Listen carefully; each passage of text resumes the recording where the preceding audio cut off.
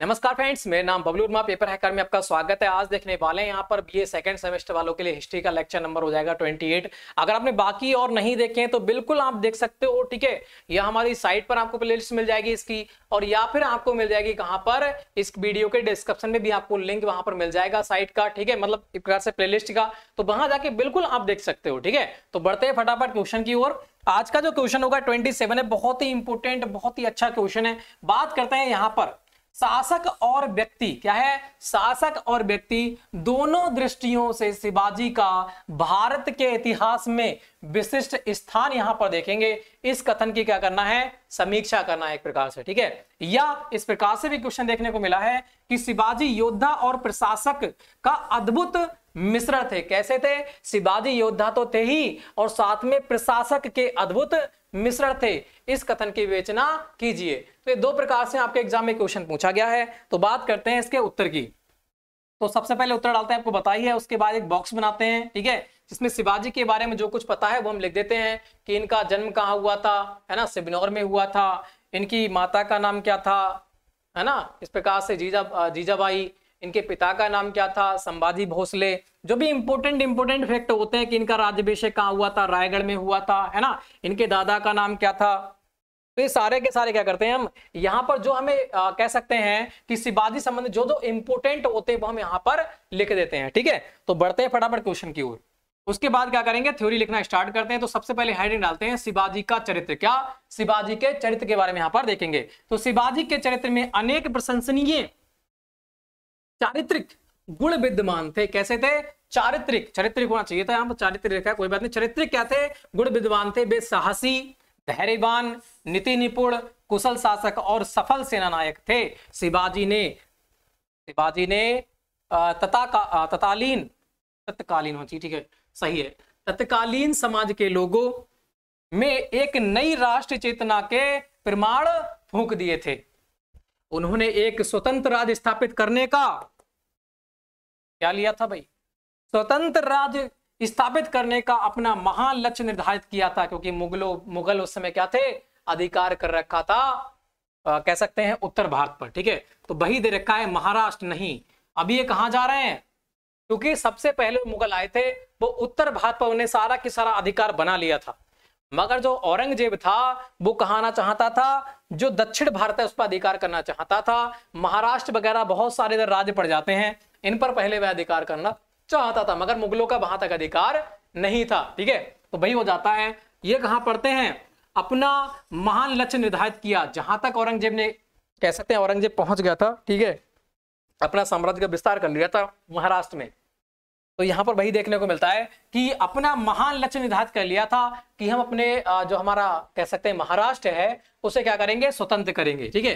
शिवाजी की चारित्रिक विशेषताओं को निम्नलिखित शीर्षक के अंतर्गत स्पष्ट किया जा सकता है। तो कौन कौन सी चरित्र की विशेषताएँ हो जाती हैं, वो हम यहाँ पर देखेंगे। तो पहली देखने को मिलेगी कुशल प्रशासक एवं राजनीतिज्ञ के रूप में। क्या? कुशल प्रशासक एवं राजनीतिज्ञ के रूप में। शिवाजी एक महान शासक प्रबंधक थे।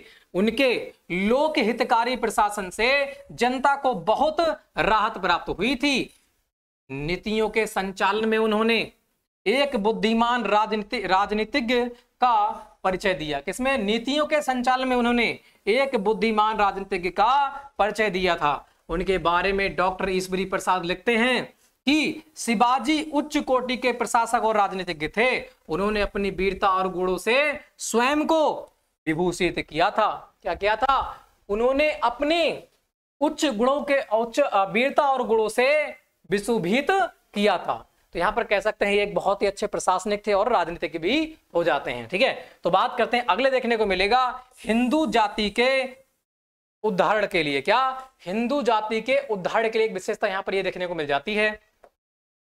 बात करते हैं हिंदू जाति के उद्धार के लिए उन्हें बहुत ही आ, कह सकते हैं इनका चित्र जो था बहुत ही अच्छा था। जैसे मध्यकाल के इतिहास में शिवाजी ऐसे प्रथम भारतीय हिंदू राजा थे जिन्होंने मुगलों के विरुद्ध एक सशक्त हिंदू राज्य की स्थापना की थी।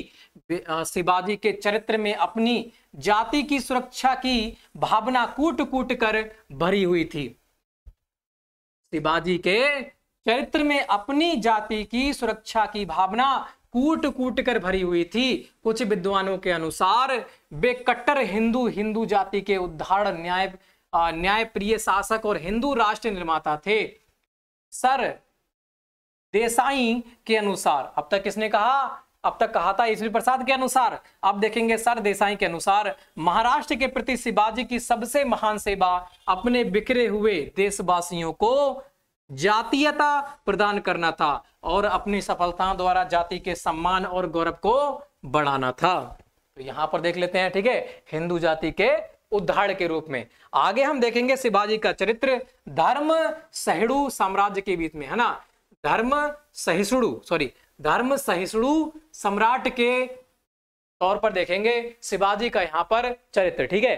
तो बात करते हैं, पहला देखा है, शिवाजी धर्म के सजग, प्रहरी और संरक्षक थे, परंतु अन्य धर्मों के प्रति भी उनके हृदय में महत्वपूर्ण स्थान था। शिवाजी की धार्मिक सहिष्णुता के विषय में इतिहासकार कौन? इतिहासकार खफी खान ने लिखा है, इतिहासकार खफी खान ने लिखा है कि शिवाजी ने यह नियम बनाया था कि लूट के समय उसके सैनिक मस्जिदों, कुरान और स्त्रियों की, स्त्रियों को किसी भी प्रकार की हानि नहीं पहुंचाएँगे। कि क्या चीज़? लूट के समय उनके सैनिक मस्जिदों, कुरान और स्त्रियों की किसी भी प्रकार से हानि नहीं पहुंचाएँगे। इस प्रकार शासक एवं व्यक्ति दोनों रूप में शिवाजी का इतिहास के रूप में विस्तृत स्थान देखने को मिल जाता है। आगे बढ़ते हैं नेक्स्ट पॉइंट चरित्र हो जाता है उनका। महान विजेता के रूप में कौन? महान विजेता के रूप में। शिवाजी एक स्थान भारतीय इतिहास में एक महान विजेता के रूप में सुरक्षित है। उन्होंने बहुत से युद्धों में अपनी छोटी सी सेना के बल पर ही बहुत अभूतपूर्ण विजय प्राप्त की थी। शिवाजी एक महान विजेता थे, जिन्होंने औरंगज़ेब जैसे शक्तिशाली शासक को भी मानसिक रूप से विचलित कर दिया था। क्योंकि औरंगज़ेब के वहाँ से भाग गए थे, है ना? और उसका जो कह सकते हैं, एक होता है, हमने देखा था, आयशा खां, है ना? आयशा खां, उसका मामा, उसको भी मार देता है। आगे बढ़ते हैं। फिर देखा है महान कूटनीतिक के रूप में कौन? शिवाजी। तो शिवाजी कूटनीति के आचार्य चाणक्य के विषय में शिष्य कह जा सकते हैं सॉरी शिवाजी जो हैं, वो कूटनीति के आचार्य चाणक्य जो हैं, विष्णुगुप्त से कहते हैं, है ना? चाणक्य विष्णुगुप्त भी नाम है उनका, और एक नाम और है, एक तो चाणक्य हो गया, एक विष्णुगुप्त है। आगे ध्यान नहीं आ रहा है, कोई बात नहीं। इन्होंने अर्थशास्त्र लिखी है ना, विष्णुगुप्त चाणक्य। आगे, बात करते हैं। शिवाजी कूटनीति के आचार्य चाणक्य के विषय चाणक्य के शिष्य कहे जा सकते हैं। अपनी कूटनीति के बल पर ही उन्होंने मुगलों के दीर्घकालीन संघर्ष किया था। बीजापुर के सेनापति अफजल खां का वध भी किया था। जो बीजापुर के सेनापति हो जाते हैं अफजल खां है ना? उनका भी क्या कर देते हैं? ये बद कर देते हैं। औरंगज़ेब के मामा आयसा खां जा होता है उसको आ, उसको भी वहाँ से भगा दिया जाता है ठीक है?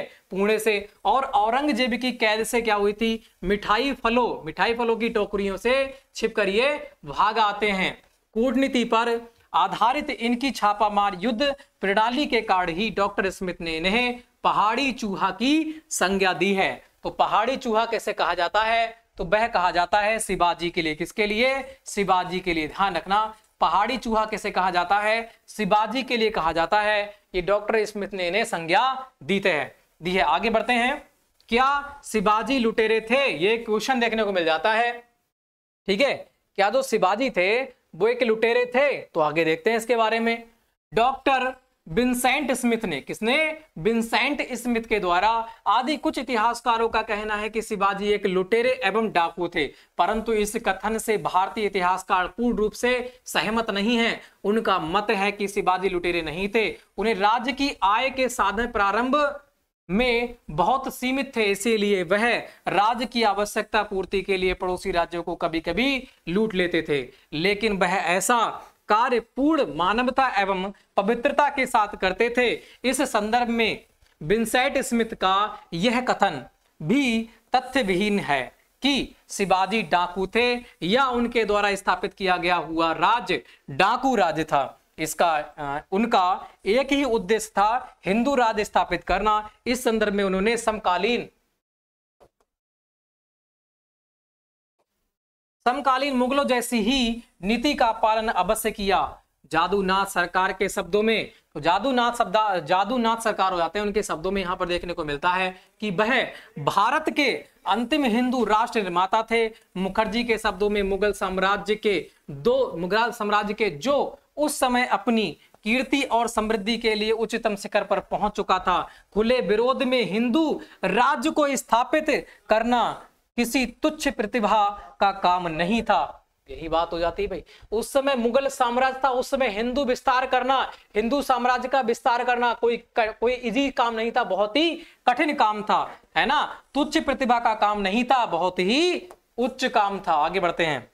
नेक्स्ट बढ़ेंगे वस्तुतः शिवाजी भारत के महान शासक व हिंदू स्वराज्य का संस्थापक थे। शिवाजी ने हिंदुओं को राष्ट्र भावना से भरकर राजनीति चेतना जगाने का एक महत्वपूर्ण कार्य किया था। जादूनाथ सरकार के अनुसार शिवाजी केरल, शिवाजी केवल मराठा राष्ट्र के निर्माता ही नहीं थे, अपितु मध्य युग के सर्वश्रेष्ठ मौलिक पृथ्वी संपन्न व्यक्ति हुए थे। फिर बात करते हैं शिवाजी के कार्यों के मूल्यांकन करते हुए। कौन कह रहे हैं अब? अब कह रहे हैं एल्फिनसेंटन कौन कह रहे हैं? एल्फिनसेंटन कह रहे हैं। ने लिखा है, यद्यपि वह अपनी शक्तिशाली सामंत का पुत्र था। वह कौन था? वह एक शक्तिशाली सामंत का पुत्र था। कौन? शिवाजी। उसने डाकुओं के एक साहस और चालक कप्तान के रूप में जीवन आरंभ किया था। फिर भी वह एक ऐसा चरित्र छोड़ गया, जिसकी समता उसके देश का कोई अन्य व्यक्ति ना कर सका। भारत के इस अंतिम हिंदू राष्ट्र निर्माता के संबंध में यह कथन भी अपूर्ण। उचित है कि शिवाजी हिंदू जाति के अंतिम रचनाकार कार्य करने वाले योग्य व्यक्ति और शासक एवं राष्ट्र निर्माता थे। तो बहुत ही इंपॉर्टेंट क्वेश्चन बन जाता है ये। ये आपके एग्ज़ाम में आने की पूरी की पूरी संभावना हो जाती है। शिवाजी से आपके एग्ज़ाम में एक क्वेश्चन देखने को मिलेगा। एक क्वेश्चन हंड्रेड परसेंट देखने को मिलेगा। तो फ्रेंड्स, यहाँ पर हमारा ट्वेंटी एट क्वेश्चन कंप्लीट होता है। अगर किसी को नोट चाहिए, अगर किसी को नोट चाहिए तो कहाँ से डाउनलोड करेगा? हमारी साइट इन से आप नोट्स डाउनलोड कर सकते हो। क्या डाउनलोड कर सकते हो भाई? नोट्स डाउनलोड कर सकते हो। और अदरवाइज़ जो पट्टी पे आपको साइट चल रही है हमारी इन बाकी सारे, बहुत सारे यहाँ पर आपको चलते हुए देखने को मिलेंगे। ये सारे के सारे नोट्स कहाँ मिलेंगे? हमारे पेपर पर आपको मिल जाएँगे, ठीक है? तो फ्रेंड्स, वीडियो को लाइक करना, शेयर करना, चैनल को सब्सक्राइब करना। तो फ्रेंड जय हिंद, जय भारत।